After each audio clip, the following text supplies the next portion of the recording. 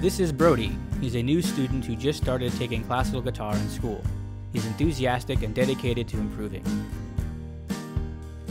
In this lesson, we were working on rock technique. We covered palm muting, power chords, and the song TNT by ACDC. For palm muting, I was showing him the importance of right hand position on both classical and electric guitars. Power chords are fundamental building blocks of the rock language.